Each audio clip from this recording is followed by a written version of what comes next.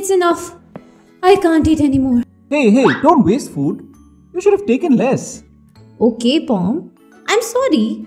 Now stop making an issue out of the little food I've thrown into the dustbin. You, by wasting food, you have contributed your part To what? to global warming and climate change. What? Now you're dragging it too much, Pom. You, every year, some one third of the food is wasted in one way or the other. You know, in other words, it's the waste of resources that needlessly produce uh, greenhouse gas emissions, leading to global warming and climate change. Whoa. I'm sorry, Pom. I didn't know that. It's okay. Actually, you're just a helpless victim of a strange and stupid arrangement. Arrangement? What arrangement are you talking about, Pom? Owning of food, Piu. You've purchased the food that you've just thrown away, isn't it? What's strange in that? It's natural. No, Piu. It's exactly the other way around. In nature, only you humans can purchase and own your food. Every other creature has to gather food, either by producing itself like plants or simply through hunting, as all animals do. We animals hunt as much as it needs to keep us alive. We don't purchase and own our food. Are you kidding, Pom? How can an animal purchase food? Yes, because animals are not stupid like humans, duh. What's wrong in purchasing food?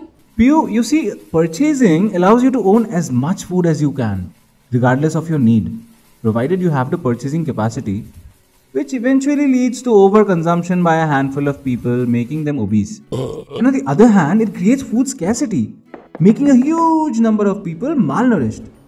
Oh, So, Pom, you mean to say in nature, except humans, no one wastes food? As a matter of fact, nothing goes to waste in nature. Plants are the basic food producers.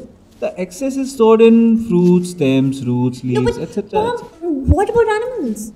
Don't they waste food either? Of course not, Piu. That is the beauty of a unique system developed by nature called the food chain.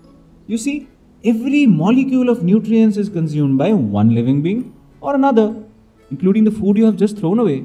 Wow! Thank God! The food I've thrown away will be used by someone. Piu, it is still a waste because another human being could have used that had it not been thrown away by you. You see, Piu, nature has enough to fulfill the needs of each one of us, but not enough to satisfy one's greed. Hmm? Hmm.